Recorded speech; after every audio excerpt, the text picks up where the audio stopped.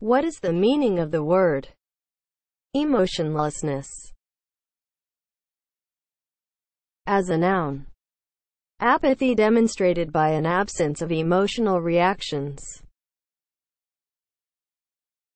Emotionlessness is spelled E M O T I O N L E S S N E S S Emotionlessness